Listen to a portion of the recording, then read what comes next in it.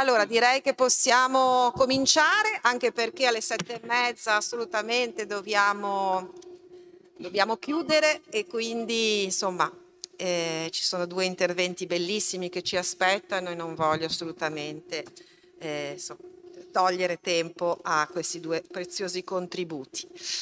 Bene, allora io insomma vi saluto tanto, eh, già preso la parola prima, ma insomma ufficialmente, quindi saluto tutte, tutti e tutte e vorrei fare un po' di ringraziamenti, vorrei ringraziare veramente eh, di cuore Palazzo Ducale per aver voluto questa, questo ciclo di incontri e la mostra fotografica che se non avete ancora visto vi consiglio di vedere e, per avermi coinvolta. In particolare ringrazio tanto mm, eh, Donatella Buongirolami che, che, che, veramente si è spesa moltissimo, che è laggiù in fondo, che avete visto all'ingresso per questo ciclo di incontri con tanta cura e tanta generosità e Elvira Bonfanti che insomma mi ha, mi ha coinvolta fin, fin, da principio. E sono particolarmente felice di, di, celebrare Pierpaolo Pasolini e come dicevo prima sono felice di farlo anche con tanti giovani, sono molto contenta che l'Università di Genova abbia appoggiato questo ciclo di incontri, che lo abbia riconosciuto, che lo abbia valorizzato, lo ha messo dappertutto, quindi insomma sono stata molto contenta, anche perché appunto eh, io è una prova che faccio da tanti anni, quella eh, a fine corso di chiedere chi conosce Pierpaolo Pasolini per alzata di mano e ehm, noi lo facciamo, ne facciamo di solito un pezzettino e, ehm, e negli anni queste mani sono sempre state meno. In realtà ci sono ancora insegnanti del liceo molto illuminate, tra l'altro alcune sono eh, con le loro classi collegate su YouTube che, che, stanno, che, stanno, seguendo, quindi io le ringrazio di cuore anche per, eh, per questo contributo, per questo lavoro eh, anche loro generoso no? di... Mh, mm, portare il Pierpaolo Pasolini già al liceo. E, mm, e appunto quindi sono contenta di, di, di, di, poterlo far conoscere a chi eh, giovane non ha ancora avuto modo di, conoscerlo e di ricordarlo da un certo punto di vista. Avete visto che abbiamo scelto di dare una caratterizzazione particolare a questo ciclo di incontri. Eh, nella presentazione abbiamo detto sì, eh, scrittore, regista, drammaturgo, eh, poeta, eh, ma anche sociologo e antropologo. Ora, poi ne discuteremo a lungo di questa querel, in realtà non sappiamo se lui sarebbe stato così contento di essere definito sociologo, anzi quasi sicuramente almeno per il suo tempo, per i suoi contemporanei sociologi, non lo, non lo sarebbe stato. Eh, a un certo punto lui dice la sociologia salamina, mh, mm, proprio per prendere, per prendere le distanze da un certo tipo di sociologia italiana. E la sociologia italiana è stata molto dura, una parte della sociologia italiana è stata molto dura con, con eh, con Pierpaolo Pasolini, anche il nostro Ferrarotti, dico ai miei e alle mie studenti no, che, che, usiamo tanto, anche Ferrarotti l'ho attaccato molto e adesso vi dirò un, poi, un, po', un po' di più perché e come.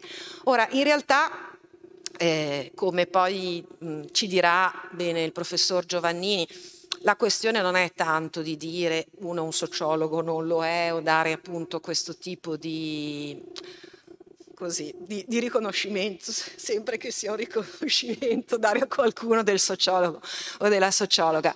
Eh, la questione è riconoscere il merito invece di aver avuto forse, e questo si può dire, una grande immaginazione sociologica.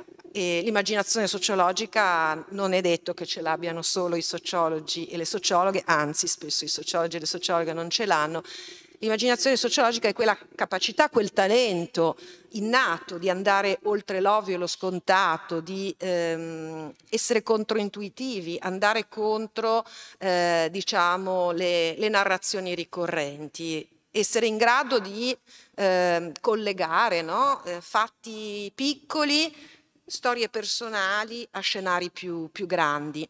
E in effetti la grande capacità proprio che, di cui vogliamo discutere in questo ciclo di incontri di Pierpaolo Pasolini è proprio questo, no? la capacità di usare immaginazione sociologica. D'altra parte poi appunto come ci dirà il professor Giovannini eh, perché stare a disquisire tra arte e sociologia? L'arte spesso precede di molti anni mh, le intuizioni che poi verranno discusse nella teoria sociale molto tempo dopo. A lezione come esempi per spiegare no, questo, al di là del fatto che poi eh, dico sempre che insomma, sarebbe bene andare molto no? alle, alle, mostre di arte contemporanea, alla Biennale di Venezia per eh, capire un po' di più il mondo e gli scenari futuri. Eh, però ecco, io mi occupo di corpo, parlo sempre della body art. No? Alcuni body artist negli anni 70 hanno parlato di temi attraverso il corpo e le loro performance che poi sarebbero diventati oggetto di grande dibattito nella teoria sociale solo molti anni dopo, almeno vent'anni dopo, eh, per cui non so, da Chris Burden a Sterlach a... Um, ce, ne sono, ce, ne sono, tanti, eh, Vito Acconci, eh, ecco, alcuni di loro per esempio parlavano già del rischio e del riprendere potere sul sulla diciamo, determinazione dei, dei propri corpi. C'era uno che diceva alle 4 nel tal luogo mi faccio sparare, sono io che decido quando mettermi a rischio. Oppure c'era qualcun altro come Sterlach no? che ci parlava ehm, della vulnerabilità dei corpi proprio come azione controculturale rispetto a quell'industria culturale, quella certa egemonia di cui anche, anche Pasolini eh, ci ha parlato. Ma in realtà poi le scienze sociali negli ultimi, se volete, sono liberi, eh, questi posti li avevamo tenuti, ma ehm, in realtà negli ultimi vent'anni le scienze sociali lo hanno anche recuperato, diciamo, da un punto di vista così della valorizzazione di, eh, delle grandi letture che, che ci ha regalato, eh, da appunto un storico dell'economia come Franco Sarcinelli che dedica a Pasolini addirittura mh, mm, insomma, un, un saggio eh, dove lo paragona, lo mette dentro no? al pensiero della scuola di Francoforte e, e parla di, di, di mm, di petrolio come una singolare forma di sociologia comprendente eh, a vabbè, il grande Franco Cassano che è stato un sociologo che è morto esattamente un anno fa, quindi mi fa particolarmente piacere ricordare, che dedica a Pasolini un intero capitolo del suo testo sul pensiero meridiano pensiero meridiano che è tra l'altro molto nutrito mh, da una certa visione, da un certo sguardo obliquo che ci ha insegnato a utilizzare eh, Pasolini. Eh, Filippo Barbano che è un, uh, un sociologo che ha scritto libri di storia della sociologia, dedica una parte del, del, volume sulla sociologia degli anni 70 a, a, Pasolini, fino ad arrivare a etnografi più contemporanei come Mimmo Perrotta, che ne parla come etnografo. E, ehm, e in effetti è interessante perché eh, diciamo, i nodi, le questioni che ehm, così eh, mettere, che, che, ci, che, si producono mettendo in relazione Pasolini e la sociologia sono diversi, eh, c'è una questione appunto di riconoscimento, di legittimazione, di istituzionalizzazione, c'è un, un riconoscimento del, del, della possibilità di, avere, di, utilizzare quelle cose per, delle, mh, mm, eh, per dare delle letture pubbliche.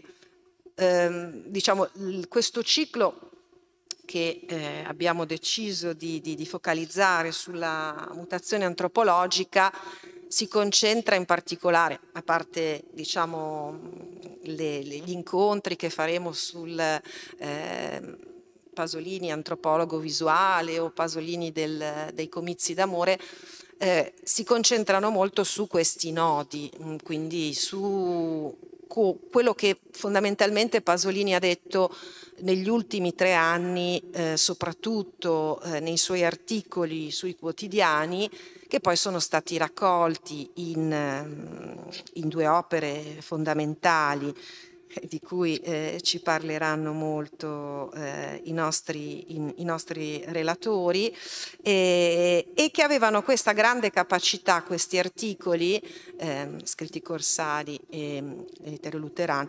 e, ci parlano molto della capacità di prendere un fatto eh, quotidiano, un, un fenomeno, qualcosa di contingente e leggerlo in un contesto più ampio e saperlo collegare a eh, scenari più complessi, una cosa che sicuramente oggi eh, manca molto.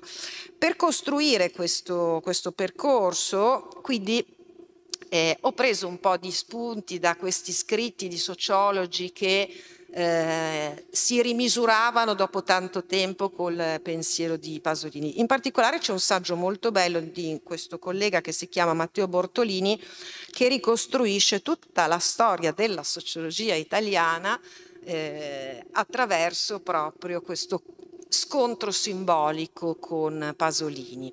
Una sociologia che si vuole ehm, eh, presentare, legittimare, entrare nell'istituzione come sociologia scienza contro la sociologia letteratura, contro la sociologia poesia.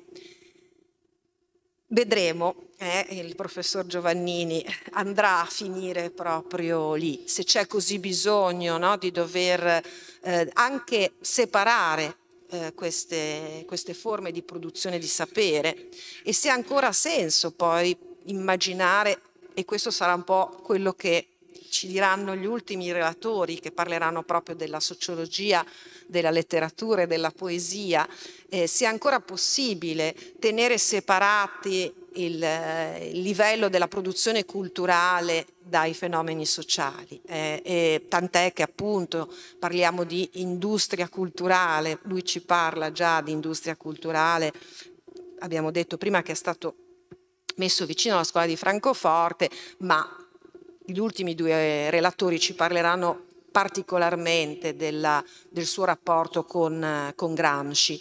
Un altro autore grandemente, fortemente dimenticato dalla sociologia italiana, eh, che appare un po', un po' poco, appare di nuovo in una parte della sociologia, no? come se appunto eh, l'industria culturale, l'egemonia culturale e tutto quello che ha a che fare con i processi culturali non influenzasse anche invece quello che avviene eh, diciamo nella, nella realtà e, e, nella produzione dei fenomeni, delle opinioni, eccetera.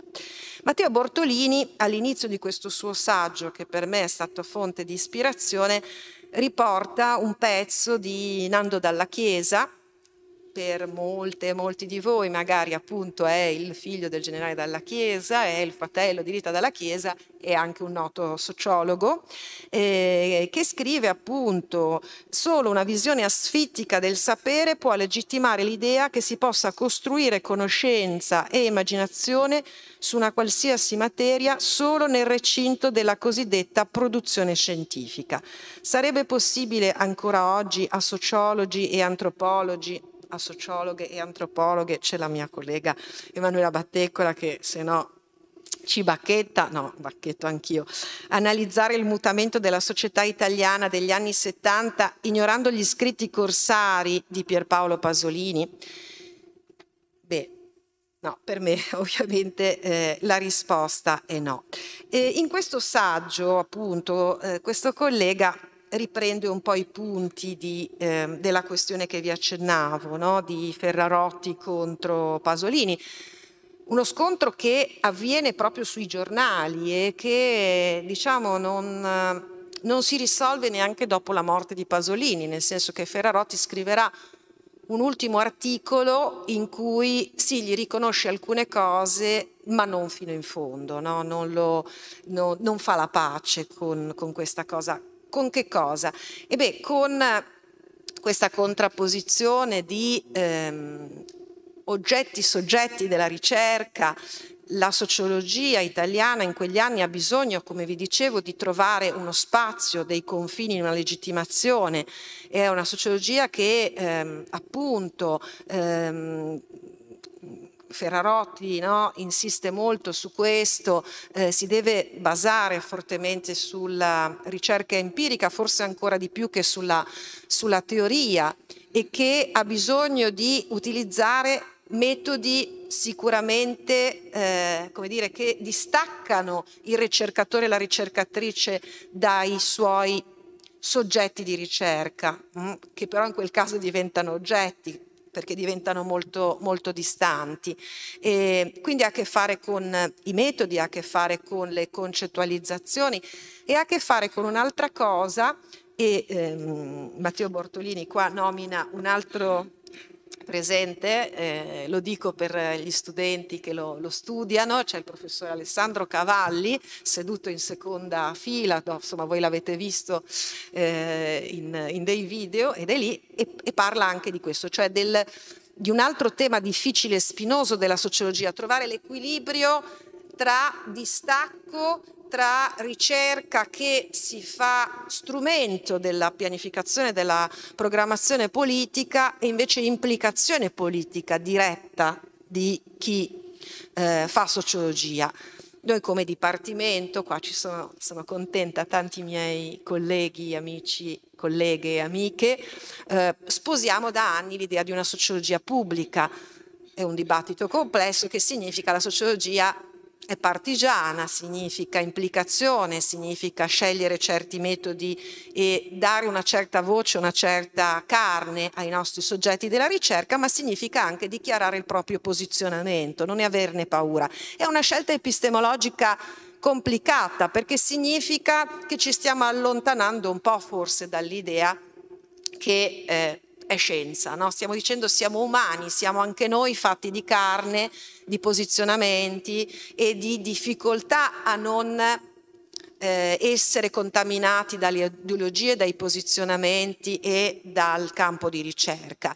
Eh, forse, non lo so, non lo possiamo sapere, oggi questo tipo di sociologia piacerebbe di più a Pasolini. Eh, sicuramente eh, è un tipo di sociologia che si appoggia molto invece a mm, eh, sicuramente Gramsci e anche, e anche, Pasolini. Ma vediamo un po' proprio al dunque, mi sono un po' dilungata, scusate, è, è l'introduzione a tutto, a tutto, il ciclo di incontri, non lo farò più, le prossime volte veramente farò solo la moderatrice. Ehm, che cos'è questo? Mutazione antropologica. Io metto un po' qua adesso eh, degli oggetti che poi i due relatori invece ci, ci spiegheranno eh, molto meglio. Mutazione antropologica per Pasolini è un genocidio culturale o una nuova preistoria.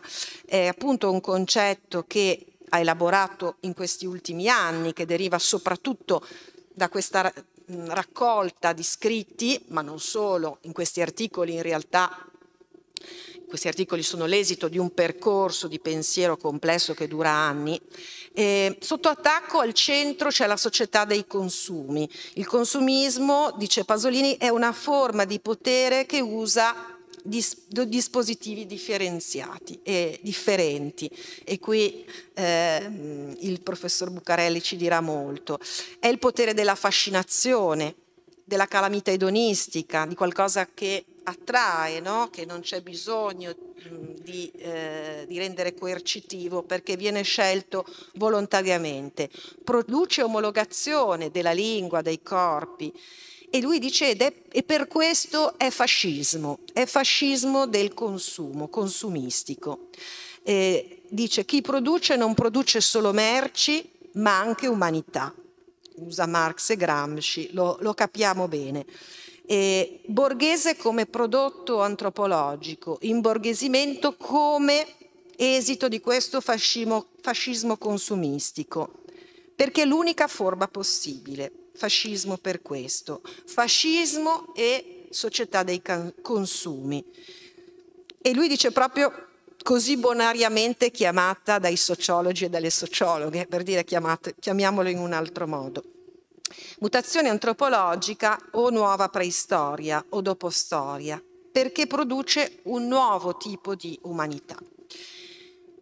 Bene, basta, ho finito. E adesso vi presento i nostri eh, relatori, cioè in realtà avete visto, avevo ancora tante pagine, ma vabbè, se mi tengo qualcosa anche per le prossime volte. Allora, sono veramente molto lieta di avere qua con noi il professor Paolo Giovannini che è stato anche molto bravo ed, efficace ad accorciare così il suo curriculum. Non so come hai fatto, però ve lo leggo perché insomma è molto denso ma molto sintetico rispetto al lunghissimo curriculum del professor Giovannini. Professore, già professore ordinario di sociologia, al Cesare Alfieri di Firenze, ha insegnato oltre che in questa università, in quella di Catania, a Barcellona e in altre università europee. Direttore del Dipartimento di Sociologia a Firenze e a Catania, è stato per otto anni membro della Commissione per le Scienze Politiche e Sociali del CUN. Ha promosso a livello nazionale il diploma di Relazioni Industriali e i corsi di laurea in Scienze Sociali e in Sociologia, che ha presieduto per qualche anno. Preside del Cesare Alfieri dal 95 al 98, è stato delegato per le relazioni sindacali e poi presidente del sistema bibliotecario dell'università, consulente del Ministero Ministero del Lavoro, ha operato per anni come valutatore indipendente delle politiche sociali del governo. Nel 1998 fonda Cambio, una, una rivista, un laboratorio che poi diventa rivista, che da poco ha compiuto dieci anni, autore di oltre 160 pubblicazioni e partecipe di infiniti comitati scientifici, è tornato a Genova da tre anni, eh, è qua con noi, eh, fatto bene. Eh, bene. Presento anche il professor Filippo Buccarelli, eh, che è un professore incaricato e ricercatore presso l'Università di Firenze, eh, dove si laurea lì appunto nel 95 e mh, dopo queste prime esperienze di didattica e di ricerca prende il dottorato in sociologia eh, a Catania e, mh, e, diventa da subito professore incaricato e e dal 2003 al 2006 è stato responsabile della, di ricerca dell'area studi del, della ASE, l'Agenzia Servizi Economie eh, di Prato e dal 2007 eh, svolge attività di coordinamento scientifico nell'osservatorio sociale del comune, della provincia di Pistoia e insegna sempre a eh, sociologia a Firenze. Allora io inizierei da eh, dal professor Paolo Giovannini, mi veniva da dire da Paolo Giovannini, perché ormai da quando sei tornato a Genova mi viene da, da prendermi tutta questa confidenza.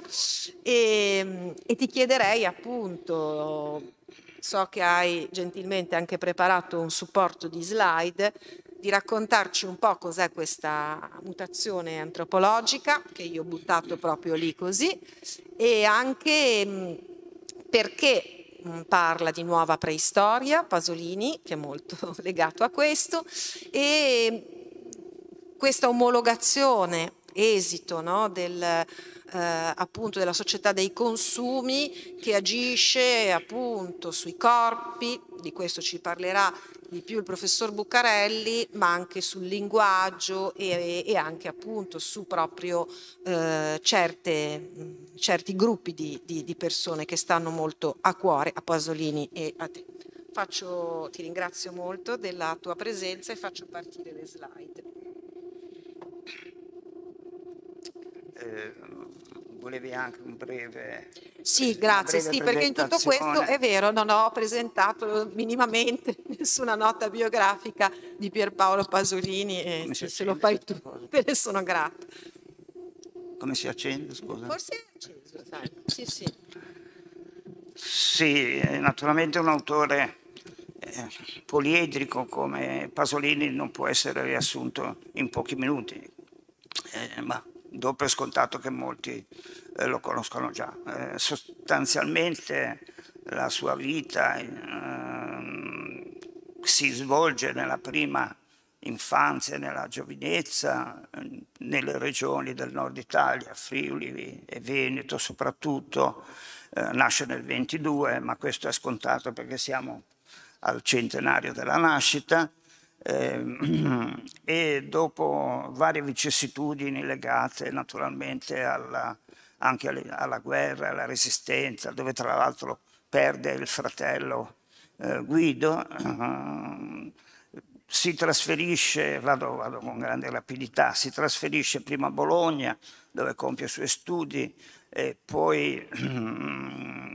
dimostrando già una serie di, di qualità letterarie e poetiche soprattutto, che poi maturano eh, nel soggiorno romano negli anni eh, 50 e primi 60 quando eh, scrive il suo primo romanzo di successo, diciamo Ragazzi di vita e eh, anche le prime, le prime, la prima raccolta di poesie, le celebri di Gramsci. Ehm, Pasolini poi nel corso della sua vita accumula esperienze di tutti i tipi, soprattutto viaggi, c'è un, un bel resoconto che eh, viene pubblicato da una rivista che si chiamava Successo a puntate, poi è raccolto in un volume, mi pare nel 1961, dove fa il giro d'Italia, per così dire, della costa partendo da Ventimiglia, eh, aggirando eh, tutta la costa, dalla Sicilia in su fino a Trieste. E, questo resoconto è un resoconto già di primo approccio alla realtà italiana. Eh, nel periodo romano naturalmente il, il, centro della sua attenzione si sposta sulle periferie della città eh, dove sperimenta anche un tipo di linguaggio eh, che è eh, mutuato dal linguaggio eh, dei cosiddetti parlanti, come li chiama lui, insomma delle, delle periferie romane, ehm, inizia poi una serie di percorsi fuori d'Italia insieme ai suoi amici e colleghi, eh, Moravia, El Samorante, eccetera, e non a caso va nei posti più eh, marginali del mondo, va in India, va in Medio Oriente, va in Africa. Ne parlerò un po' di queste cose. Eh, la sua esperienza poi si allarga alla cinematografia, eh, dove fa bellissimi film che, da Cattone al Vangelo secondo Matteo e ad altri film ancora che tutti più o meno credo conosciate e mh, inizia anche un'attività pubblicistica, soprattutto col Corriere della Sera, che poi darà vita a raccolte di libri che sono lettere luterane e scritti eh, corsari. Su altri episodi eh, della sua vita ne parlerò mentre eh, scorriamo le diapositive. Eh, finisce tragicamente la sua esistenza nel 2 novembre del 1975, eh, ma sono cose queste che conoscete, che sono per le persone meno giovani sono nella memoria eh, indelebilmente segnata da questo episodio. Vi chiedevi di mm, argomentare un po' il tema centrale della, eh, de, dell'incontro di oggi, quello de, sulla mutazione antropologica. È interessante per vari motivi. Prima di tutto mm, un breve cenno sulle su parole, perché Pasolini usa quasi sempre l'espressione mutazione antropologica, però a volte usa l'espressione degenerazione antropologica, qualche volta usa l'espressione rivoluzione antropologica, ma mi pare che sia, come dire, affezionato di più al tema della mutazione antropologica, che è un, un in sociologia, per, per riprendere quello che diceva Luisa, in sociologia è un'espressione molto forte, diciamo quasi insostenibile eh, per dirla chiaramente, perché la mutazione è un termine mutuato in gran parte dalla biologia e dalla genetica, segna la modificazione, eh, come dire, strutturale della, della, della, del patrimonio genetico, del patrimonio eh, biologico, che naturalmente normalmente avviene in fasi molto lunghe della storia. Ma in fondo l'aver sposato questo termine per Pasolini è anche un modo per, come è sua abitudine, per calcare eh, la penna, se non la mano, in forma forte su un certo tipo di concetto e su un certo tipo di interpretazione. Quando si dice mutazione antropologica, diciamo dopo antropologica c'è una parentesi con una parola a sua volta dentro che è culturale, perché eh, detto semplicemente come mutazione antropologica avrebbe un riferimento più alla specie umana, mentre è chiaramente una mutazione di tipo antropologico-culturale. Cosa vuol dire? Vuol dire che è eh, un mutamento che si, si, verifica sul piano delle, della cultura, delle idee, dei valori, degli stili di vita, quindi di un patrimonio, e qui eh, la, la, la, lontananza da Marx si sente in particolare, e colloca eh, Pasolini più vicino semmai a un Gramsci che non a un Marx, non che sottovaluti come eh, chi ha letto un po' di, di, di testi di Pasolini eh, può testimoniare, non che sottovaluti l'aspetto economico, ma ritiene più importante eh, l'aspetto culturale e se vuole addebitare questi cambiamenti culturali a qualcuno, tende ad, addebitarlo alle classi politiche ai leaders politici, di cui si diverte anche, si fa per dire, a fare nome e cognome, eh, per identificare dire, i, i, fautori di, di, o i colpevoli di questa eh, mutazione antropologica. Quindi da un punto di vista del, delle ascendenze di pensiero, benché, ripeto, l'influenza di Marx sia indubbiamente molto forte, però lo vedrei più vicino a un pensatore come eh, Gramsci e semmai ci sono degli aspetti che io qui ho chiamato velocemente elitisti, eh, nel senso che questo tipo di, di interpretazione della storia del suo tempo è un'interpretazione che matura eh, via via che le esperienze di vita di Pasolini eh, si confrontano con i mutamenti della società italiana e quando arriva a identificare il prodotto finale, cioè la società di massa, eh, identifica anche il corrispondente, come fanno gli elitisti, della massa, cioè l'elite. Eh, L'Italia eh, tende a, ad essere sempre più divisa da questa società massificata da una parte e ristrette elite dall'altra. Comunque questa mutazione antropologica lui la vive e la osserva eh, già a partire dalla sua esperienza eh, degli anni 50 e poi soprattutto degli anni 60 guardando a come è mutata la società italiana, qui la faccio eh, breve perché naturalmente sono cose che in parte conoscete, però è un caso interessante. È un caso interessante nel senso che le grandi trasformazioni, quando avvengono in tempi così ristretti, no? hanno un effetto da una parte eh, di ehm, messa fuori asse di colui che le osserva, anche delle persone normali, perché la, la, storia da sempre è stata una storia di lunga percorrenza, di lungo periodo, per cui normalmente nell'arco di una vita difficilmente eh, dalla nascita alla morte si poteva assistere a cambiamenti così sconvolgenti, così radicali come quelli ai quali si assiste invece in questo periodo che io ho chiamato della grande trasformazione, mutuando naturalmente il titolo di un famoso libro di Carl Polani, che in una visione più ampia e anche storicamente diversa, il libro del 1944, eh, però si confronta appunto con questi eh, mutamenti che si verificano con la nascita del eh, capitalismo. In Italia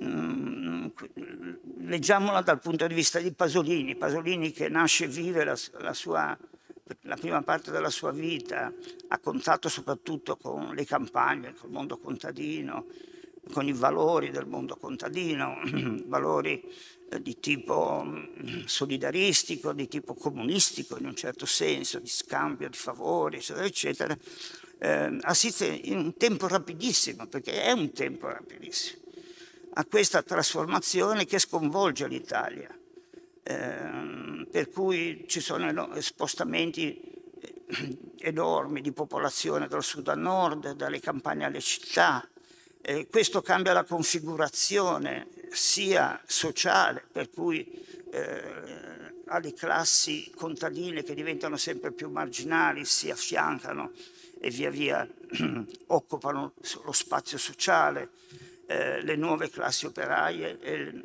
e le nuove classi eh, medie o anche come naturalmente poi dirà la borghesia eh, nascente eh, e promotrice in un certo senso dello sviluppo eh, di questa grande trasformazione, muta con questo anche l'universo di valori, in questo senso c'è una mutazione antropologico-culturale, perché i valori del mondo contadino, i valori più conservativi, conservativi tradizionali, legati anche a, alla religione, come è tipico del mondo contadino, eh, legati all'etica della famiglia, all'etica del risparmio. Tutto questo viene rapidamente ad essere mh, sostituito da una predominanza di valori acquisitivi, di valori che mirano al guadagno al, e anche alla, alla spesa, come eh, dice, si, si, dirà fra poco, come accennava Luisa che è dire, il portato tipico della società che avanza con la grande eh, trasformazione. E questo aspetto eh, Pasolini lo vive come, lo vive, diciamo, come una degenerazione del, del, della, del, tradizionale assetto culturale. E quello che come dire, lo fa più inquietare è il fatto che vede che la società italiana nelle sue diverse componenti si adatta a questo cambiamento e spesso si fa promotrice o comunque alfiere di questo cambiamento, sposa questi valori nuovi che stanno emergendo dalla, dalla, dalla grande trasformazione della società italiana. Il culmine, come, come sapete, di questo processo è quel breve arco di tempo che va grosso modo convenzionalmente dal 1958 al 1962, l'epoca cosiddetta del miracolo economico, e succede che la trasformazione accelera in questi pochi anni. Il cambiamento assume una rapidità inconsueta, assume anche una radicalità inconsueta. Viene in mente analisi come quella di, di Dahrendorf, per esempio, sul processo di cambiamento radicale e, e, e rapido e, e delle conseguenze che questo poi ha sugli assetti della società. Quindi, per dirla con una battuta molto schematica, e tu naturalmente puoi fermarmi quando, quando devi passare la parola, eh, i, i, due assi della trasformazione sono da una parte eh, la società tradizionale, la società del risparmio, la società contadina, eccetera, eccetera, e dall'altra la società del consumo, del consumo vistoso, del consumo, ostentativo, della competizione, eccetera, eccetera. Ora, sono tutti elementi che potremmo chiamare idealtipici, perché in realtà poi Pasolini ci fa vedere che ci sono anche delle forze che persistono e che resistono alla trasformazione, che persistono nel senso che è vero che i contadini eh, del sud si spostano nelle, nelle città del nord, è vero che i contadini delle campagne toscane si, spost si spostano nelle città della Toscana, ma sono sempre contadini, direbbe Pasolini, cioè in un certo senso i contadini popolano la città, sono diventati operai, sono diventati artigiani, vivono nella città, in un certo senso assumono anche i comportamenti del cittadino, ma eh, i cambiamenti culturali non sono così rapidi. La testa eh, della gente, ma anche in senso collettivo, non cambia così rapidamente. Quindi in un certo senso noi abbiamo a che fare con realtà in cui eh, il mondo contadino conquista la città, insomma viene in mente eh, Grecia capta Roma captavit, cioè in un certo senso popolano, eh, eh, le campagne popolano la città. Naturalmente i processi vanno avanti e quello che dire, colpisce di più Pasolini è che da una società che lui aveva visto articolata e complessa, contadini, operai, ceti medi, borghesi, la vede lentamente omologarsi, cioè appiattirsi, assumere connotati indifferenziati. Eh, come suo costume estremizza mh, mm, visivamente, anche letterariamente, questa notazione. Per esempio, dice, mentre prima c'erano contadini, operai, ceti medi e borghesi, adesso sono tutti borghesi. E ovviamente quando dice, mm, usa questa espressione non vuol dire che sono tutti diventati eh, agiati, eh, membri della società dei consumi a pieno titolo, eccetera, eccetera. No, vuol dire che si è generalizzata e ha preso corpo e piede dentro anche altre classi sociali subalterne una mentalità eh, di tipo borghese. È interessante, e questo lo vorrei leggere un attimo, una breve frase degli scritti corsari che dice l'omologazione culturale che ne è derivata riguarda tutti, popolo e borghesia, operai e sottoproletari. Il contesto sociale è mutato nel senso che si è estremamente unificato. La matrice che genera tutti gli italiani è ormai la stessa. Essi sono culturalmente, psicologicamente e quel che è più impressionante, e qui c'è tutto Pasolini, fisicamente interscambiabili nel comportamento quotidiano, nella mimica, nell'atteggiamento somatico, non c'è niente che li distingue. Mm, è una rappresentazione in poche righe, ma che dà l'idea molto, eh, molto forte di cosa intende Pasolini per questo processo.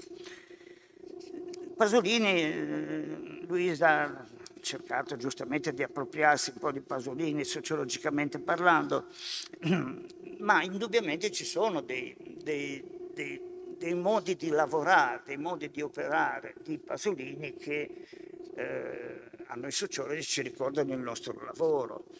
Anche il suo atteggiamento, non so questa slide se, eh, su distacco e coinvolgimento, anche qui ho rovesciato un po' una, il titolo di un famoso libro di Elias su coinvolgimento e distacco, eh, nel senso che, che, sono, che sono tipici atteggiamenti, casa, no? sì, sì, che sono tipici atteggiamenti eh, prof, della professionalità sociologica. E Pasolini li ha tutti e due, li ha tutti e due, ha il distacco eh, che gli consente di vedere più oggettivamente la realtà che ha davanti agli occhi. Perché? Perché eh, ha una marginalità sociale, ma anche una marginalità eh, sessuale, potremmo dire. No?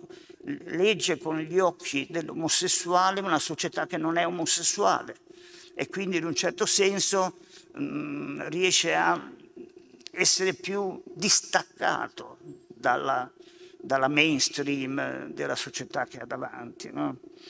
Quindi questi due aspetti, insieme di marginalità sociale, in gran parte scelta, ma poi non, su questo ci avrei da dire qualcosa, ma nel senso sì, ha una marginalità sociale, anche quella mh, mm, scelta ma anche mitigata dalle appartenenze, perché poi lui coltiva le amicizie con gli intellettuali dell'epoca eh, da Moravia, Morante, Calvino e molti altri, quindi diciamo fa parte di una cerchia di, diciamo, di intellettuali, genericamente parlando, eh, di, di, questo mondo. Però, come dice con una sottile ironia e anche in qualche modo prendendosi in giro da solo, dice sì, però bisogna che distingua tra la necessità sociologica del giorno, quando lavoro, studio, eh, come un monaco dice a un certo punto, no? e poi la notte, la notte quando come un gattaccio vado in cerca dell'amore. No?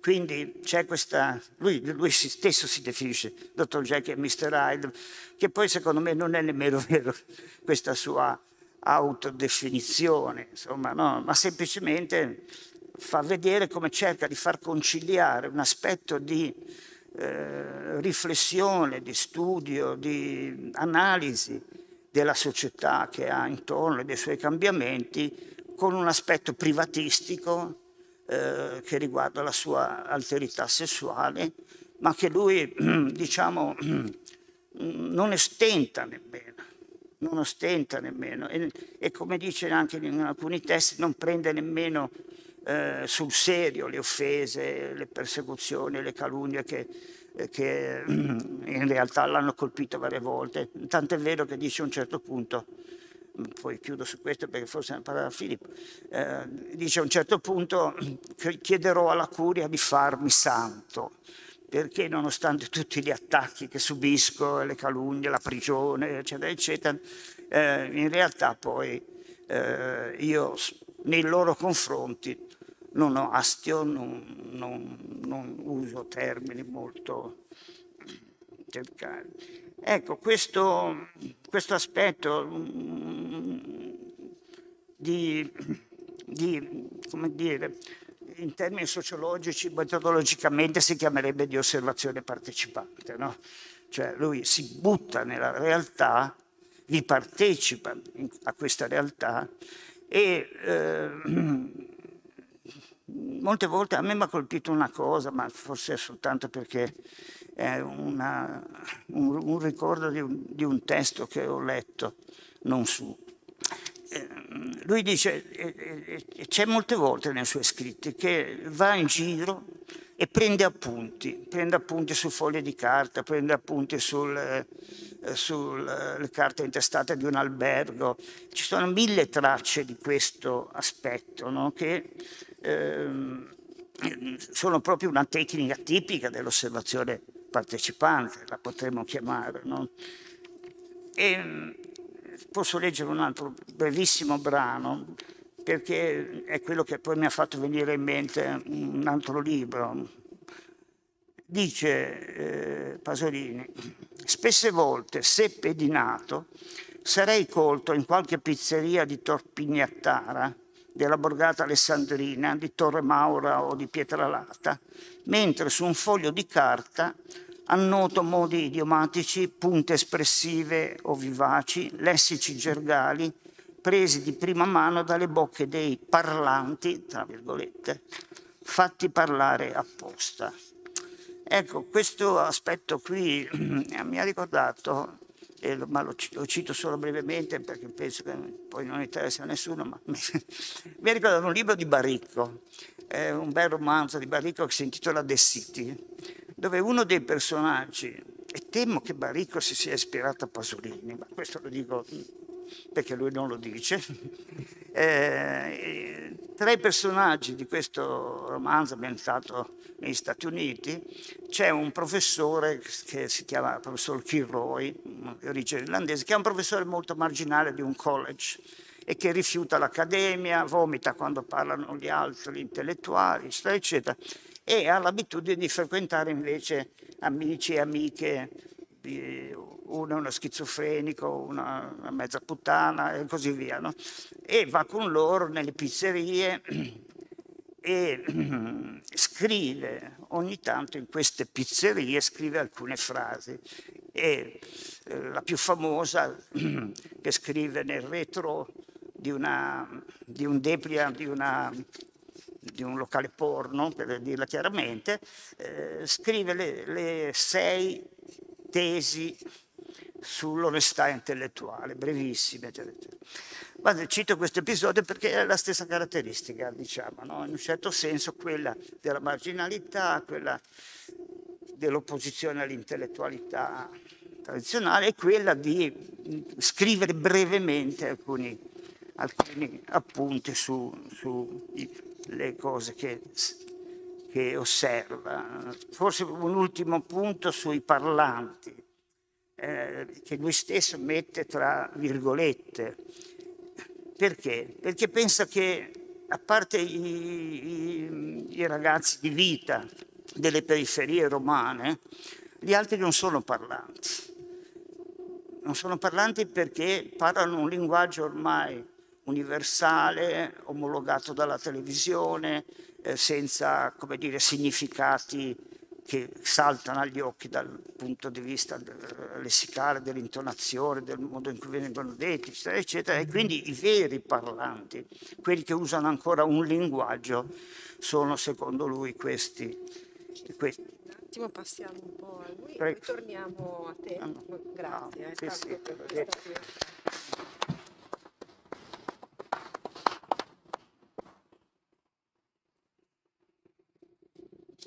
mi spiace aver interrotto, però siccome hai detto una cosa che ci dà là per passare un attimo la parola, perché poi vorrei lasciarti il gran finale. Quindi facciamo, andiamo un attimo, e eh no, perché sulla questione della sociologia, dell'arte e anche del dopo storia vorrei, vorrei tornare. Adesso vediamo se sono capace. Sì, forse ce la faccio. No, no me l'aveva spiegato così bene perché non sono capace. Questi sono di questi due. Eh, no, eh, sì. Ora mi sgridano. Vabbè, tanto che no, no, no, vabbè, ero stata attenta veramente, ero convinta di non sono stata capace a toccare bene il, il, il mouse. Allora no, ho fermato eh, il professor Giovannini perché si stava parlando appunto di omologazione del linguaggio, no? uno di quegli oggetti che prima ho messo sul tavolo e, abbia, e, e ho detto c'è l'omologazione del linguaggio e l'omologazione dei corpi e delle soggettività.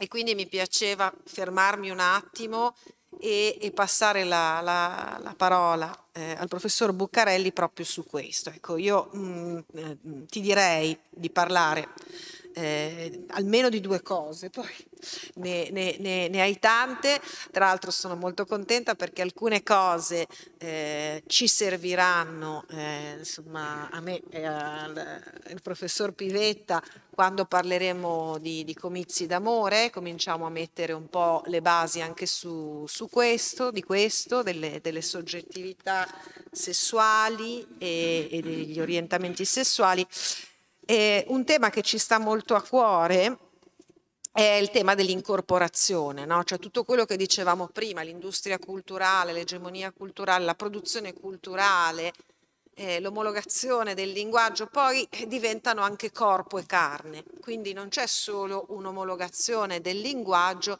c'è anche un effetto poi sui corpi, su corpi che diventano tutti molto simili, no? questo imborghesimento e anche l'imborghesimento dei corpi. Eh, e su questo veramente mi fermo perché se no potrei parlare per delle ore. E, ehm, e quindi la cultura si iscrive nella carne e, eh, e fa scomparire la molteplicità di modi in cui si può essere eh, donne e uomini. Quindi la prima domanda, insomma, la, la, la, prima richiesta di approfondimento è questa. La seconda è, io prima, un altro oggetto che ho messo lì sul tavolo è il potere come fascinazione. Potere senza volto, il consumismo è un potere, abbiamo detto prima, che usa dispositivi differenti, non più un potere riconoscibile, forte, esterno, ma un potere seducente eh, che usa appunto altri, altri meccanismi. Ti chiederei di, di, dirci un po' almeno su queste cose poi abbiamo anche altre cose da dire, ma vediamo un po' i tempi. Grazie. Va bene, grazie. Eh, no, peraltro mh, eh, l'intervento di Paolo è stato importante perché insomma ha delineato no, un po' uno sfondo su cui poi si possono fare alcuni approfondimenti. E quello che vorrei fare io e l'ho scelto sia perché è centrale secondo me nella, nel tentativo di analizzare una figura mastodontica come quella di per Paolo Pasolini, sia perché oggi sono in discussione alcune questioni importanti, ne cito soltanto due, eh, eh, le rivendicazioni e eh, la questione del riconoscimento di eh, minoranze e di orientamenti di genere, per esempio. Non, non parlo soltanto di uomini e donne, ma eh, mi riferisco per esempio al decreto Zan, mi riferisco di conseguenza all'omotransfobia eh, e a quello che c'è dietro tutto questo e tutta una serie di identità che vengono, diciamo, avanzano per, per, chiedere, per chiedere riconoscimento. E l'altra è una cosa che mi sta colpendo molto in questi giorni, ed è questo ritorno, questo straboccare, io lo chiamo così, però mi rendo conto che è proprio embrionale, non, non sarebbe proprio da sociologo, ma in ogni modo questo traboccare di razionalismo mh? Mm, che dietro la vicenda vaccinazioni, dietro la vicenda emergenza sanitaria sta, sta venendo fuori. Io per esempio non mi aspettavo no, una, una, reazione di questo genere. Ehm, e ci sono molti significati, probabilmente anche ancestrali, probabilmente oltre che di, di informazione di comunicazione, ma qualcosa, ma qualcosa, di più profondo. Ecco, è qualcosa di più profondo. Eh, allora io ho scelto appunto di affrontare un pochino il tema dell'incorporazione, come tu l'hai detto, e della soggettività, cioè l'importanza del corpo, o meglio della dimensione corporea, direi quasi organico e psicologica, psichica, diciamo. Eh? Eh, per tentare una lettura eh, forse sperimentale per tanti aspetti insomma, della figura di Pierpaolo Pasolini e lo faccio un po' da sociologo eh, ricordando un, un, libro di un famoso insomma, libro di Simmel eh, Sociologia in cui si chiedeva a quali condizioni è possibile il darsi della vita sociale. Lui parlava di tre eh, a priori sociologici. Eh, è la seconda slide, ma non la, non la, no, non la voglio leggere perché è un po' tecnica, ma insomma la, la richiamo così. Sì. Eh, il, il, primo era quello insomma, che gli esseri umani tendono a vedersi, a, diciamo così, eh, a sintetizzarsi in qualche modo e quindi io direi a riconoscersi per somiglianza. La banalizzo, ma insomma, insomma questo è un po'. Mi colpiva, il terzo è gli esseri umani eh, nel momento in cui entrano in relazione tendono a cercare un posto all'interno diciamo, del collettivo e quindi a darsi una giustificazione di legittimazione loro, del loro ruolo, della loro funzione, ma è il secondo che mi ha sempre colpito, e cioè è possibile la vita sociale a patto che, dice Simmel, l'essere umano, il soggetto, sia al contempo qualcosa che assomiglia, il primo, ma qualcosa che rimane comunque al di fuori della società, al di fuori delle relazioni. Cioè io ho sempre letto in queste parole abbastanza strane per un sociologo, no? secondo me, questo riferimento a qualcosa che sfugge la vita sociale stessa, con le sue regole, le sue convenzioni, le sue consuetudini. E qui c'è una deriva. Capisco per esempio l'attacco di, di Ferrarotti a Pasolini, come d'altra parte Pasolini fu attaccato da Umberto Eco in maniera diciamo, molto, eh, molto pesante. Quella scienza sociale aveva bisogno di oggettificare. Forse la scienza sociale in sé ha bisogno, come tutte le scienze, di classificare e diciamo, oggettualizzare, non so come, come dire ma nel momento in cui classifichi eh, ti illudi che eh, l'altro sia riconducibile esclusivamente a quelle categorie. C'è sempre qualcosa che sfugge. E allora, eh, a partire da questo riferimento al secondo a priori sociologico di, di Simmel, ho provato a riflettere un pochino su Pasolini e lo faccio brevemente. Io trovo che in Pasolini, sì, la prima, la prima sì. sono un po' dense, ma insomma come, come slide c'è un riferimento continuo, costante, fondativo, trascendentale, sto per dire, alla dimensione corporea come qualcosa di eh, fondante e dove qualcosa, è come qualcosa dove Pasolini, perlomeno per una fase, pensa e sente di poter intracciare il luogo a partire dal quale suscitare rivendicazioni contro il potere, poi mi riferirò brevemente veramente al potere. Ehm, e questo tipo di, di, di riferimento a questo, eh, diciamo, a, a, questo nugulo, no? avrebbe detto forse Aristotele, a questo nugulo, nugulo autentico, che io credo è ciò che distingue, pur nelle grandissime somiglianze, l'opera di Pasolini, il pensiero di Pasolini da quello di Michel Foucault, per esempio. Foucault non si illudeva, come alcuni sociologi poi, ma Foucault non, non si illudeva che, eh, che ci fosse diciamo, un io autentico. La storia per Foucault era semplicemente un passaggio di racconti attraverso epistemi, cioè modi di dire, ma non delineava nessun tipo. Eppure invece io trovo che in Pasolini c'è questa fiducia in una rivendicazione a partire da una percezione probabilmente, no? di un presunto io autentico che eh, mi sembra che Pasolini abbia sempre ricercato nella corporeità, nella fisicità e poi arrivo anche alla sessualità e quindi il discorso della sua omosessualità. Qui in questa slide ho un po' ripercorso alcuni aspetti di questo ragionamento, per esempio eh, eh, Pasolini parte con eh, diciamo, un'esperienza, una un'esperienza artistica di tipo poetico. I suoi primi componimenti sono componimenti quasi elegiaci, no? provinciali, quindi l'uso eh, per esempio del dialetto friulano, ma nel riferirsi poi a, un, a una natura, no? lui a un certo punto mi pare ci sia poi una, non so se l'ho citato, ma in ogni modo, sì, nella terza, ma non stare per favore, no. Um, comunque. Um, il riferimento alla natura come qualcosa di puro, come qualcosa di autentico, come qualcosa lui avrebbe detto di innocente.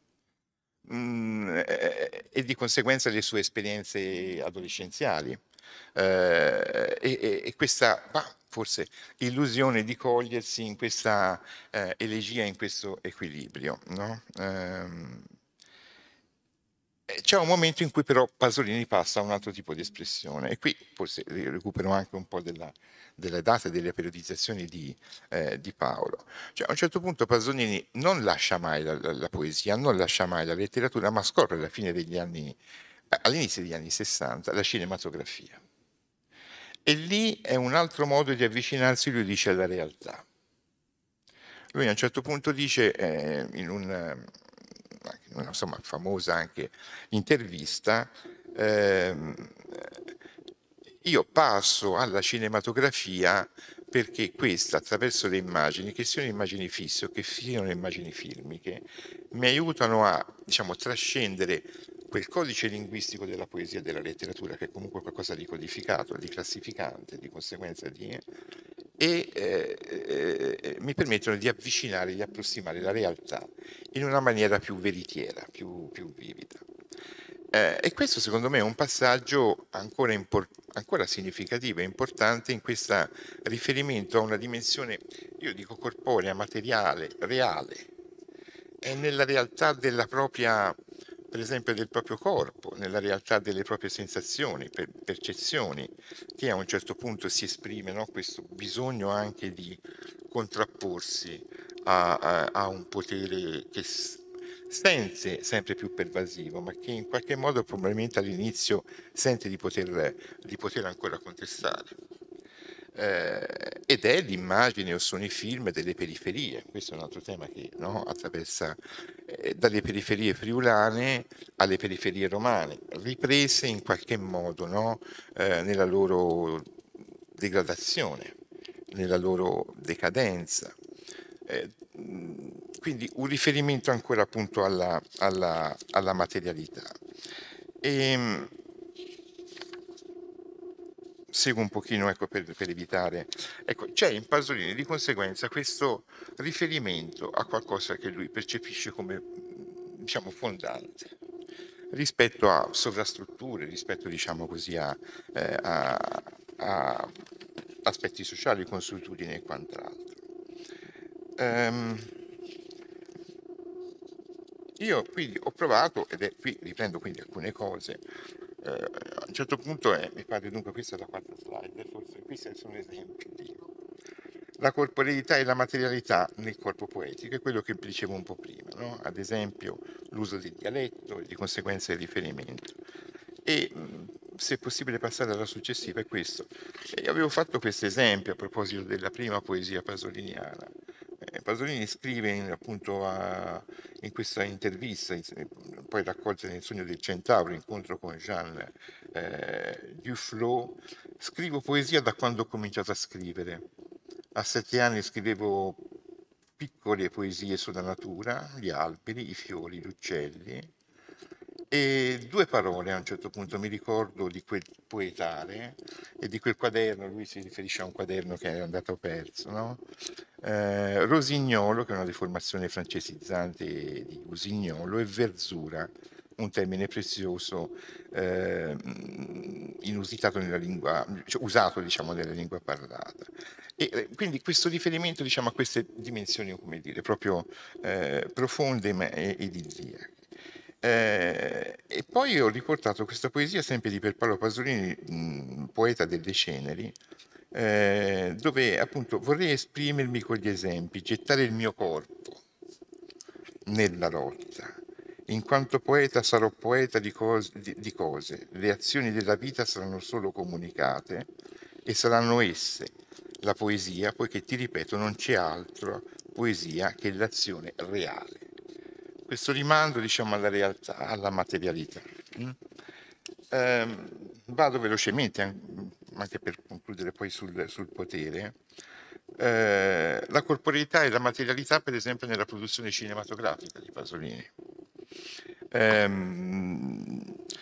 già all'inizio, a Cattone, il primo film no? che, lui, che, lui, gira, eh, tutto ciò coincide, come dicevo prima, con un bisogno di realismo l'immagine che coglie anche i tic, le posture dei corpi, perché non è soltanto la spigolatura dei volti, il suo stesso volto, non è soltanto diciamo, mm, la prestanza fisica, no? in qualche modo, però sono i dettagli, no? Le, la mano che, scusate il termine, insomma, ehm, che si gratta il di dietro, no? o il gesto in qualche modo, in qualche modo irriverente.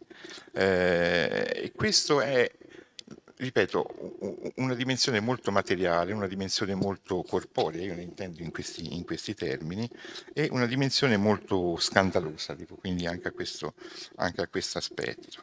Ehm, e da qui proprio il linguaggio cinematografico come un modo che lo rende più libero, no? Eh, di poter approssimare la realtà, ma è un passaggio che faccio per avviarmi all'ultima parte del mio intervento. Se ti fermi all'immagine, anche quella, anche l'immagine, che sia filmica o che sia fissa, è qualcosa che in qualche modo classifica, è qualcosa che esclude. Se ci si pensa bene, una fotografia o una, un piano sequenza o quello che volete, riprende solo un pezzo di realtà, magari te lo porge, te lo porge come, eh, come veritiero, verosimile, no? ma ciò che fa è escludere tutto il resto. Una fotografia illumina e riprende ciò che è sotto la luce nell'obiettivo, ma tutto il resto in qualche modo viene, eh, viene escluso. E credo che questo tipo di esclusione questo tipo quindi di eh, classificazione comincia a maturare in Pasolini, naturalmente in, contem- in, contemporanea con trasformazioni sociali del potere, su cui arrivo brevemente fra poco, eh, proprio al suo interno e al suo esterno, cioè eh, per come si, come si, trasforma, il contesto e per come lui comincia a avvertire anche nel, nella grammatica cinematografica e eh, iconica, fotografica, una sorta, diciamo così, di limitazione. Ehm, ehm, a questo punto vorrei semplicemente eh, passare brevemente appunto al concetto della sessualità, perché dietro la materialità e la corporeità c'è in Pasolini come, forse quasi come fonte continua no? di energia eh, che, eh, che, ha bisogno poi di esprimersi, ha bisogno anche, con tutte le sue contraddizioni e ambivalenze, ha bisogno poi di scagliarsi evidentemente contro qualcosa sotto forma di, eh, di, eh, di rivendicazione. Ehm, è la corporeità e la materialità appunto negli scritti a questo punto di critica socio-politologica. Era questo il passaggio ulteriore che volevo fare. Um, qual è l'atteggiamento di Pasolini? E qui mi mi riferisco quindi a quei due quesiti iniziali da cui sono partito, quelle due curiosità, cioè a dire eh, omofobia, transfobia e eh, identità di genere e, oppure eh, il razionalismo, eccetera. Qual è l'atteggiamento che Pasolini ha del suo corpo e della sua sessualità? Eh, io, da quello che, per quanto conosco Pasolini, rintraccio due modi di vivere eh, la sua omosessualità. Da un lato, ed è quel segno di accettazione, bisogno di accettazione da parte degli altri, il provare a, come dire, razionalizzarla, a farla accettare, a farsela riconoscere anche in forza, eh, direi, di una consapevolezza di essere stato oltre misura molto punito. Pasolini subisce, se non sbaglio, 33 inchieste prima della morte, no? eh, 33 inchieste per eh, oltraggio al pubblico pudore oppure per corruzione diciamo, di minorenni eh, o tutte, o tutte, cose di questo genere. Ed è continuamente diciamo, sul, sul, sul sui giornali, quindi diciamo, eh, sempre sotto gli occhi e il pubblico ludibrio. Diciamo dall'altra il riconoscimento di questa omosessualità come qualcosa che eh, però lo rende inevitabilmente diverso dagli altri. Pasolini per esempio non usa mai il termine gay per se stesso, lo so che gay è una parola che entra, come dire, in... mi dici il tempo, eh? anche un attimo, non vorrei... Sì. Altri 5 sì, minuti, 10 sì, minuti. È una parola che entra poi nell'uso comune successivamente, insomma, no, alla morte di Pasolini.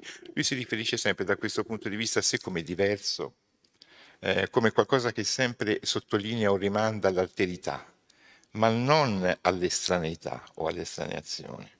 C'è da questa parte, dunque da un certo punto di vista, il bisogno di essere riconosciuto dolentemente eh, e dall'altro, nel vivere la propria sessualità, il riconoscimento, ecco allora il, il, il, ehm, il riferimento al potere che volevo fare, il riconoscimento che l'essere accettato, come pure è un bisogno naturale dell'essere umano, significherebbe, secondo il suo modo di sentire, il suo modo di vedere, l'essere addomesticato, l'essere colonizzato, l'essere omologato da un potere che a questo punto entra direttamente nei corpi e li plasma.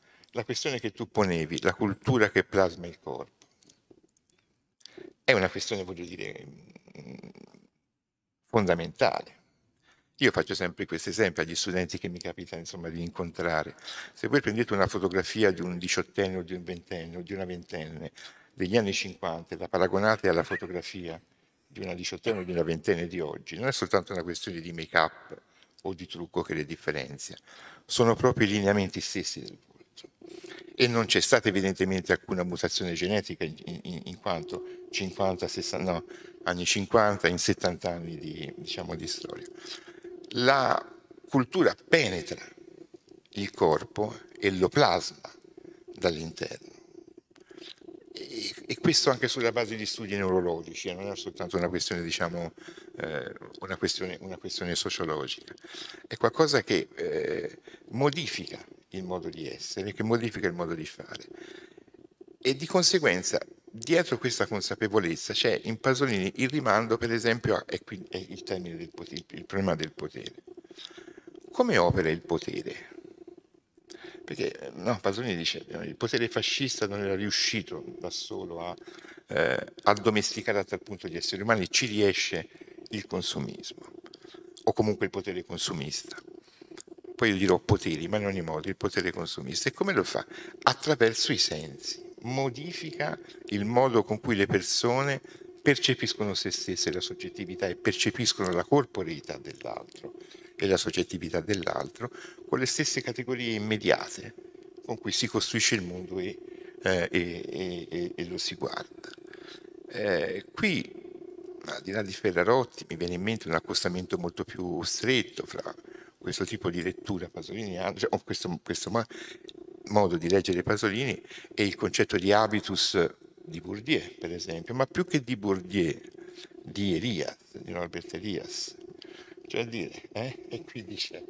Io non lo nominerai, no, no, professor Giovannini. No, no, ma ne abbiamo parlato diverse volte. Ma insomma, è attraverso innanzitutto l'habitus. Gli habitus, che cos'è l'habitus? È il modo, io non dico incons- totalmente inconsapevole, ma non è questo il punto, ma è il modo immediato, il riflesso, questo sì, no? con cui noi senza accorgerci ci portiamo, parliamo, usiamo il tono della voce, ci muoviamo, camminiamo. No? E qui il potere inizia, diciamo così, a penetrare la soggettività attraverso la penetrazione all'interno del corpo e, mh, mm, e quindi eh, a plasmarlo forse nelle sue dimensioni più inconsapevoli. Pasolini è questo che a un certo punto coglie ed è per questo che vede nella sua omosessualità, vissuta tragicamente, trassuta violentemente, un'omosessualità la sua molto poco politically correct rispetto a quella di oggi. No? Pasolini non avrebbe, credo, mai approvato o comunque così linearmente approvato le coppie di fatto, no? perché era un'istituzionalizzazione di una sofferenza che proprio perché sofferenza avrebbe potuto avere quel portato di scandalo e di capacità critica nei confronti di un potere che lui dice tollerante, accetta, ma è una falsa tolleranza. Perché nel momento in cui ti accetto, nella tua individualità, è come se la deprivassi del potere contestatorio, di contestazione. Ma infatti il terzo incontro sarà su questo. E sarà, quindi, no, eh, no, proprio eh, il titolo è Ogni diritto diciamo, è crudele eh, partirà proprio. Voglio chiudere, mi, dai, mi dai soltanto no, no, 5 minuti. No, no. Solo che volevo tanto. Sì, sì, anticipare. Eh, no, da, la, eh. lanciare sì, sì, sì, il filo rosso che poi collegherà che poi collegherà. i pezzi. Ecco, mh, mm, c'è una, lei, una, cosa anche qui, un, uno stralcio da, dagli scritti corsari. Io queste slide le avevo preparate per avere un canovaccio, non per mostrare, ma insomma a questo punto andando avanti un po' indietro. E la slide corp- sì, corporeità, insomma il, il, senso sacro della vita nella molteplicità delle sue diversità è questa. No, è quella, scusami. No, è, è più avanti. Alla, no, alla è prima. Ah, scusa, ma quella prima? Questa. Sì. Ok, scusami, sì, senso sì. Um, è da scritti corsari ed è eh, la posizione che Pasolini ha, ecco, mi ha sempre colpito, su, sull'aborto.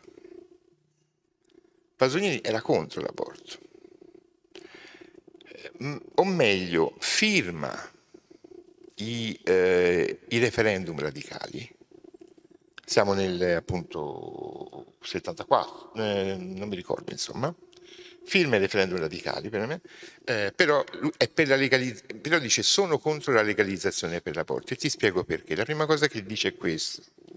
Innanzitutto, ma questo dice una cosa morale, etica, è perché per me la vita è sacra, ma non per motivi religiosi o per motivi, diciamo così, no, eh, eh, cattolici, ma perché lui dice io nei miei sogni, nelle mie percezioni, nuovamente questo rimanda alla soggettività più, più, più, più interiore, io sento e mi sento nel, nel, nel ventre di mia madre e nel, diciamo, nel liquido eh, appunto amniotico.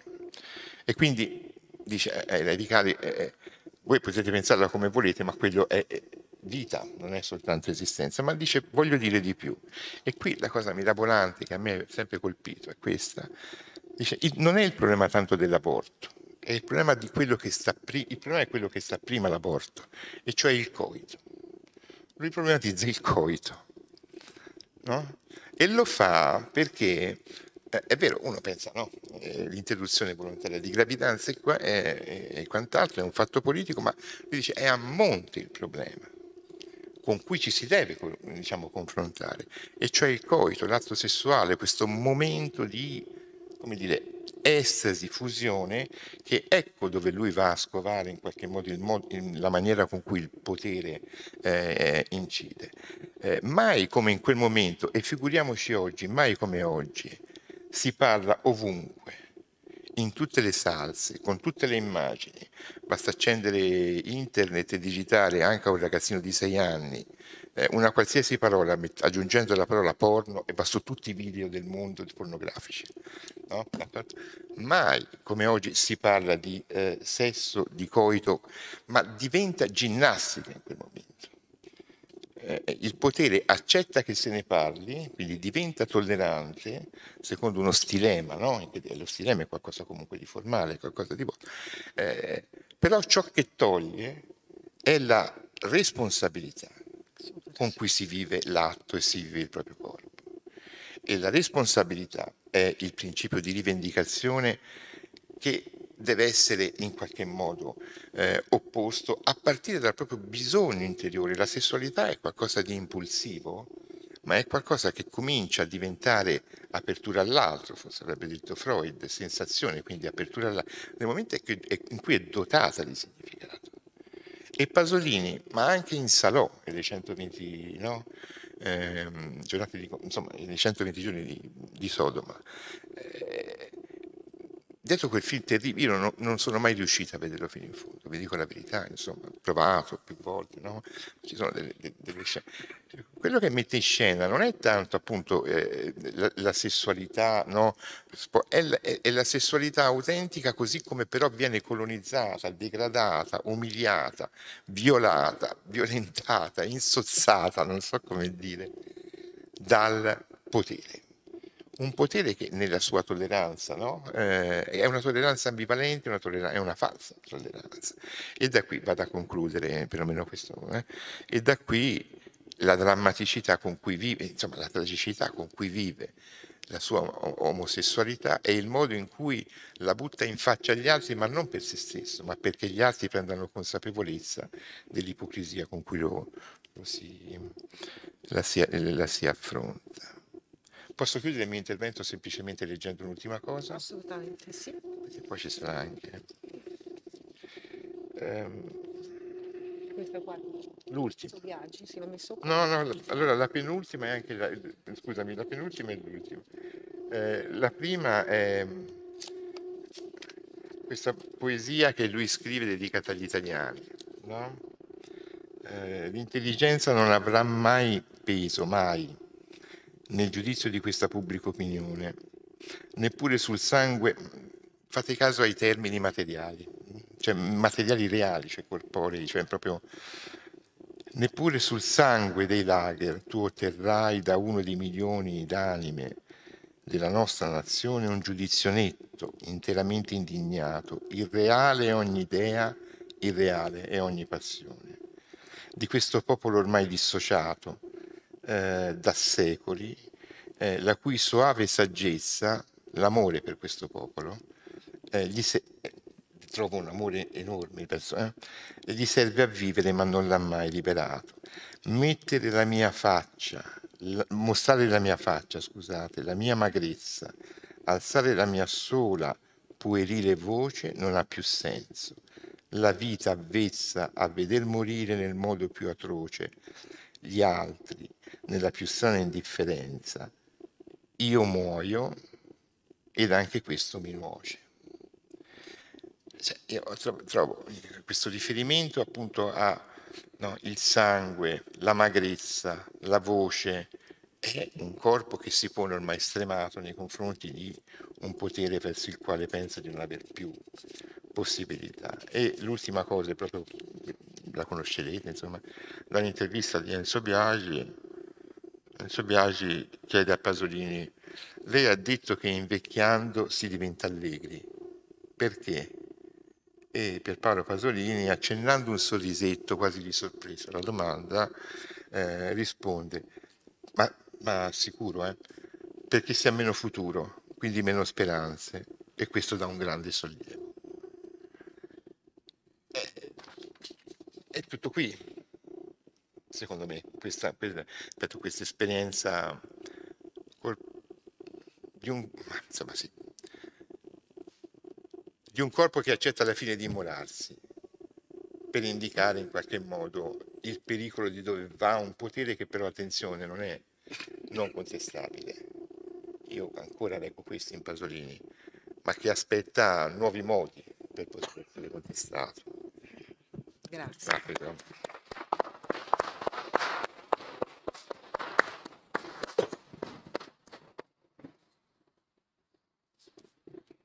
Eh, avrei tante cose da chiederti, ma lo faccio dopo, in separata sede. E, ehm, sicuramente è interessante anche questo rapporto tra Pasolini e Foucault, eh, si annusano, si leggono a vicenda, uno non lo dice all'altro, però l'altro poi usa le sue cose e, e ci sono dei, dei rimandi. Ecco, sicuramente questa idea del potere, del corpo e del corpo resistenza, ecco, del corpo che può essere l'unica forma eh, di resistenza al potere, però è, è complicato. E, mh, mm, è bellissimo anche sì, insomma, l'accostamento all'habitus, eh, perché effettivamente un po' è questa la questione, cioè questa mm, questa omologazione che, che, passa attraverso il linguaggio, abbiamo visto prima, i corpi, che li rende tutti irriconoscibili e, e tra l'altro appunto poi c'è anche un'evoluzione in questo, nel senso che all'inizio eh, sembra... Mh, mm, voler salvare alcuni corpi, alcune soggettività, alcuni luoghi contro i non luoghi. E, e poi dice è così veloce questa mutazione che forse appunto eh, dice se io eh, volessi oggi rigirare a Cattone non potrei più farlo, non troverei più un solo giovane che fosse nel suo corpo, neanche lontanamente simile ai giovani che hanno rappresentato se stessi in Accattone, non troverei più un solo giovane che sapesse dire con quella voce quelle battute, non soltanto egli non avrebbe lo spirito e la mentalità di dirle, ma addirittura non le capirebbe nemmeno. Mm. Allora, appunto, eh, la prima delle ultime tre domande, questioni, insomma, oggetti che metto lì eh, al professor Giovannini è che cosa, che cosa vuol dire, perché è così veloce, dove sta andando e perché nelle periferie del mondo, in questa ricerca del sottoproletariato, spera di riuscire a trovare ancora qualche seme, qualche traccia di questo. Poi leggo una poesia, anche io, e non sono assolutamente capace, tra l'altro c'è un grande poeta tra il pubblico, mi vergogno, ma lo faccio, me lo ero imposta e lo faccio. Eh, e questa poesia che è eh, Io sono forza del passato, sempre da poesia in forma di rosa, e dice questo. Io sono una forza del passato, solo nella tradizione il mio amore. Vengo dai ruderi, dalle chiese, dalle pale d'altare, dai borghi abbandonati sugli Appennini Appennini o le Prealpi, dove sono vissuti i fratelli. Giro per la Tuscolana come un pazzo, per l'Appia come un cane senza padrone, o guardo i crepuscoli le mattine su Roma, sulla Ciociaria, sul mondo, come i primi atti del dopo storia cui io assisto per privilegio d'anagrafe, dall'orlo estremo di qualche età sepolta. Mostruoso e chienato dalle viscere di una donna morta. E io, feto adulto, mi aggiro più moderno di ogni moderno a cercare fratelli che non ci sono più. È bellissima e ci parla del dopo storia, che è l'altro modo in cui lui eh, parla di questa mutazione antropologica. E quindi appunto ti chiedo delle periferie, del dialetto, del dopo storia e un'ultima cosa, una provocazione. Cosa direbbe oggi Pasolini, o meglio, come lo direbbe? E secondo te, appunto, ha avuto senso dare questa, questa restituzione, questa impostazione del Pasolini sociologo? Basta, chiudo con queste tre cose, non da poco, ma insomma so che ci, ci, ci sai dire sì, molto in poco eh, tempo. Rapidamente perché mi pare abbiamo 20 minuti, giusto? Ah. Sì, sì, 20 ah. minuti. Ma dunque sul problema del, del terzo mondo, che lui comincia a frequentare già nei primi anni 60, ma è interessante che i suoi viaggi eh, in questi ambienti spesso degradati in India, in Africa, in Medio Oriente, eccetera, eccetera, non sono viaggi come magari erano nell'idea di Moravia che viaggiava con lui, eh, non sono viaggi tra virgolette politici alla ricerca di un sottoproletariato ancora non inquinato dalle, dai cambiamenti che si sono verificati in Occidente, non so come poteva essere nella testa di un sociologo come Wright Mills, per esempio, che più o meno alla fine della sua vita eh, scrive questo libro, Listen Yankee, mm, che è il resoconto di un viaggio in motocicletta tra, eh, per Cuba dopo la rivoluzione cubana, mm, o anche un Fanon eh, sui, mm, alla ricerca dei dannati della terra, come chiama, cioè ci sono tutta una serie di intellettuali che vedono soprattutto in quell'epoca, eh, vedono come potenziale forza rivoluzionaria che prende il posto della ormai decaduta forza rivoluzionaria delle classi operaie occidentali, eh, i diseredati del terzo mondo. Mm, Pasolini fa un, questi viaggi con uno spirito diverso, secondo me, e cioè più quello che accennavi te, eh, via via che la storia ha, tra virgolette, cancellato, omologato, tolte le differenze, eccetera, eh, va così dire la disperata ricerca delle sopravvivenze del tipo di eh, personalità, di, di, di, anche di gruppi che eh, ancora non sono transitati nel dopo storia. No? Tanto è significativo che i suoi viaggi siano più emozionali che politici. Eh, c'è uno dei libri in cui ci sono i resoconti del, del suo viaggio in India che si chiama L'odore dell'India. È abbastanza interessante che non si parli di altre cose, ma si parla di un aspetto olfattivo, fisico, no? e anche eh, il, persino nelle zone più, più degradate dell'India si vede la gioia, incredibilmente la gioia di essere in quel mondo, di, di ritrovare un mondo che eh, è scomparso un po' nelle sue, nelle sue terre d'origine tu dicevi storia dopo storia, è chiaro che in, questo, in questa distinzione ehm, Pasolini riecheggia Marx. No? Marx usava il termine preistoria, che era la, la, tra virgolette, storia affinché non si sarebbe affermato il comunismo o il socialismo, a seconda dei gusti, mm, e quindi la storia cominciava dopo l'affermazione del, del, della dittatura del proletariato, della società socialista, eh, società comunista, chiamatela come volete. Mm, mentre, mentre eh, Pasolini interpreta il eh, dopo storia come un passaggio nel quale si è cancellata eh, la storia vera, precedente, no? eh, la storia delle differenze, la storia delle classi, la storia del, del, dei lavori, la storia delle, delle ideologie eh, comunistiche o solidaristiche, eccetera, eccetera. Tutto questo mondo è tramontato e Pasolini dice che siamo ormai in questa dopo storia che ha pochissime sacche di resistenza.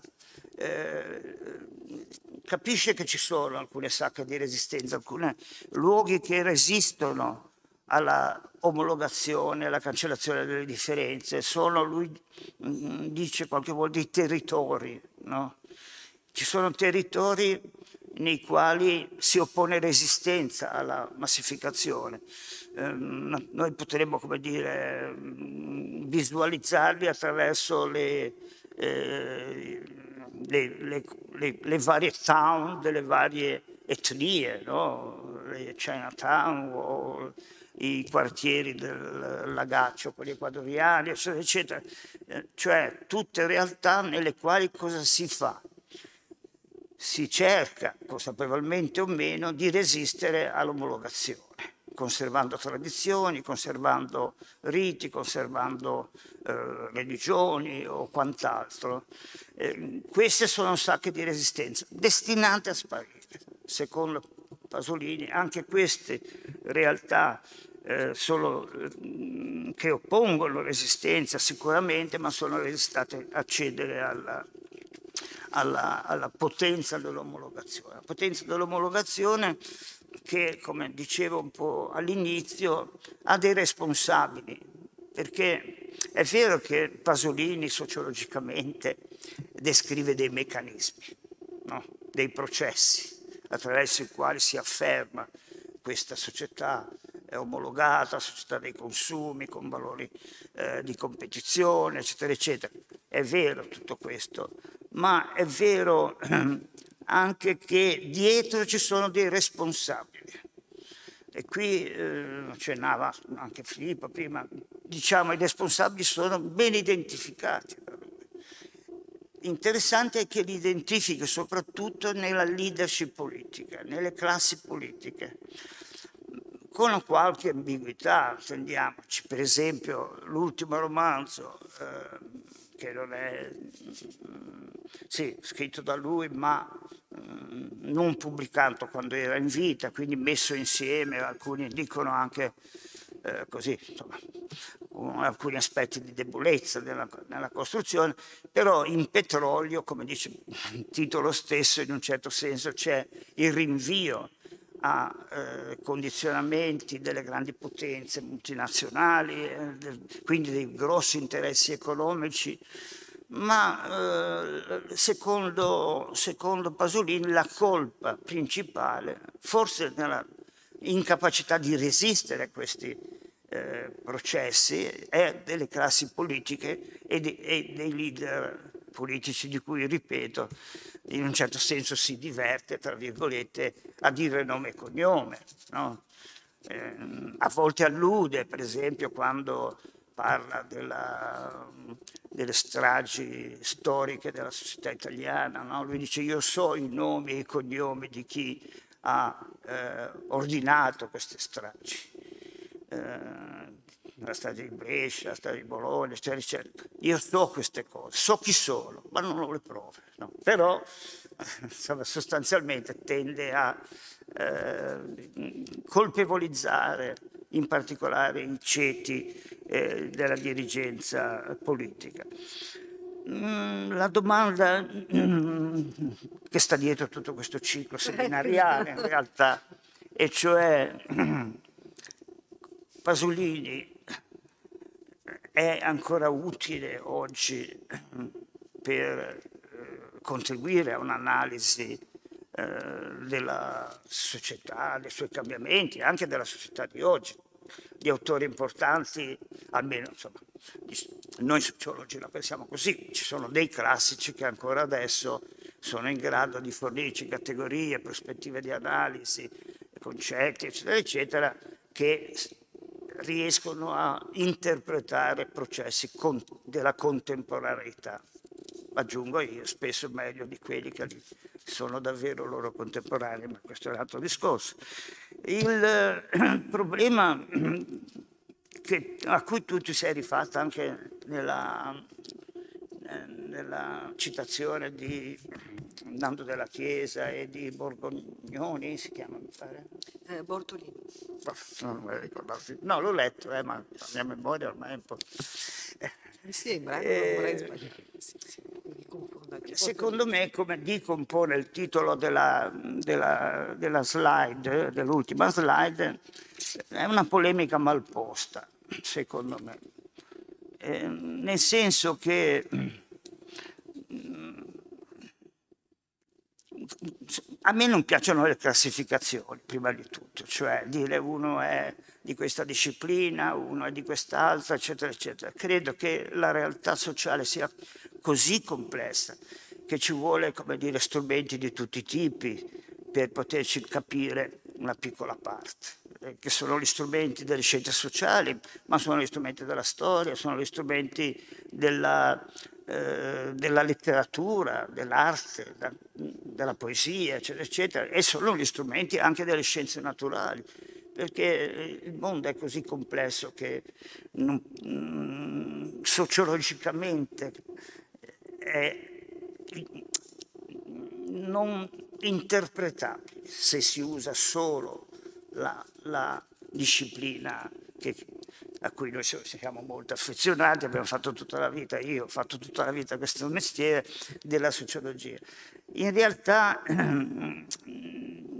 quando eh, Ferrarotti, eh, come dire, polemizza così, mi permetto di dire maleducatamente, con Pasolini, eh, sbaglia obiettivo, secondo me, sbaglia obiettivo, cioè che, perché eh, porsi il problema se Pasolini è un buon sociologo o un buon sociologo? No, non è irrilevante, Pasolini è un artista che si esprime in tanti modi, si esprime anche nella polemica, dove dà delle letture della società del suo tempo, delle sue trasformazioni, che possono essere certamente utili per l'interpretazione del sociale da parte di sociologi o scienziati sociali, ma questo non vuol dire assolutamente eh, che si deve, come dire, eh, inquadrare o non inquadrare, rifiutare o accettare Pasolini come contributore dell'analisi della, della e dell'interpretazione sociologica, perché se si, se si facesse un'operazione di questo genere la dovremmo fare non solo per Pasolini, ci sono decine di artisti, scrittori, poeti, eh, almeno dall'Ottocento in poi, ma insomma, perché sul resto sono un po' più ignorante, eh, che, che in realtà hanno dato dei grossissimi contributi in termini di conoscenza dei processi sociali del loro tempo. Eh, io qui ne cito alcuni, ma insomma sono tutti ultranoti, eh, sia di là eh, dell'Atlantico, sia nella nostra Europa e anche nella nostra, nella nostra Italia. Detto questo, rovesciamo il problema, e cioè diciamo Pasolini che è Pasolini e lo teniamo come Pasolini, indubbiamente ci aiuta moltissimo a capire problemi eh, contemporanei molto eh, importanti e molto scottanti, la diversità, la disuguaglianza, l'immigrazione, l'interculturalismo e mille altre cose che abbiamo davanti. No? E leggendo Pasolini possiamo capirle meglio, possiamo come dire, poi tradurle anche nei nostri eh, schemi mentali, nei nostri schemi analitici e eh, far diventare il suo contributo una ricchezza per l'interpretazione, senza con questo, ripeto, doverlo necessariamente, eh, diciamo, eh, inglobare. Ecco, questo è un po' quello che penso su quest'ultima parte del discorso, ma insomma penso che tu Grazie. possa chiudere bene sulla cosa. Grazie.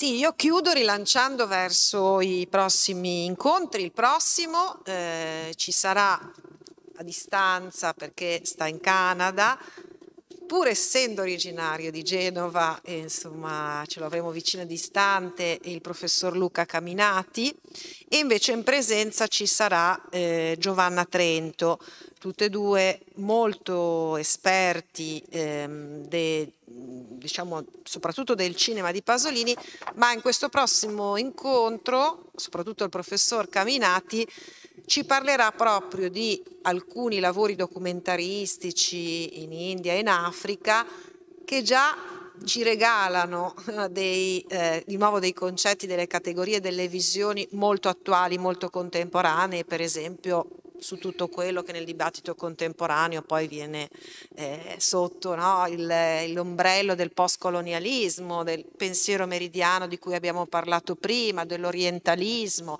Ecco, ehm, attraverso questi suoi lavori per esempio questi eh, appunto fatti in Africa in realtà sono appunti di viaggio eh, propedeutici, no? anche la costruzione di un film che poi non viene fatto, ma cattura odori, cattura mh, situazioni, cattura corpi e, e ci fornisce anche in questo caso delle grandi chiavi di lettura. La volta dopo mi ero agganciata eh, prima l'intervento del professor Buccarelli, ci sarà eh, questo, la, questo, dialogo con eh, il professor Francesco Pivetta, nato proprio in un incontro che io e lui abbiamo fatto su Mario Mieli e quindi da lì ci è venuta l'idea di, ci siamo inseriti nel ciclo che eh, insomma era già un po' stato pensato ed è mh, interessante perché alcuni dei temi, ci piace l'idea dell'inchiesta, di quel modo anche di fare una roba che poi noi abbiamo chiamato sociologia visuale, però va a toccare una cosa che si diceva prima, no? cioè grande, questa grande mutazione che però poi ha dei tempi diversi no? di eh, sedimentazione, quindi sì c'è la libertà sessuale, la liberazione sessuale che però non è libertà, e quindi no, eh, c'è questo racconto di dover essere in un certo modo, ma poi bellissimo un pezzo di, di, di questa intervista che eh, Pasolini dice ma perché la pensa così sul divorzio, mi pare fosse, e il rispondente dice perché sono calabrese, no? quindi questa idea del grande eh, racconto di cambiamento e liberazione, ma poi eh, il riconoscimento di queste due diverse ehm, velocità di, di viaggio. E, e una delle cose che emerge proprio è il concetto di, o almeno il paradigma dell'onore vergogna. E, e quest'anno con gli studenti e le studenti del primo semestre di comunicazione abbiamo proprio provato a riprodurre un po' questa cosa, sono andati insomma in giro e invece di chiedere le cose che, che, che ha chiesto Pierpaolo Pasolini in comizi d'amore hanno chiesto cos'è per te l'onore e la vergogna? E magari prima della registrazione ne farò vedere alcuni pezzi perché è interessante vedere l'attualità di, no, di, di, di radicamento no, di certi, di certi appunto, valori culturali. E, ehm, mentre appunto poi l'ultimo incontro, come dicevo, riprenderà proprio alcuni spunti sempre del, dell'intervento del professor Buccarelli andando proprio a eh, parlare di eh, produzione culturale, di industria culturale, di egemonia culturale no? e di, di nuovo di di, di, di quanto in realtà sia importante anche nella sociologia avvalersi di questi prodotti culturali per poter ehm, leggere il mondo. Bene, quindi insomma siamo entrati no, con questi due grandi relatori eh, proprio nel cuore del, del, ciclo e poi pian pianino lo declineremo pezzo per pezzo e insomma vi ringrazio tantissimo dei vostri interventi e vi rimando ai prossimi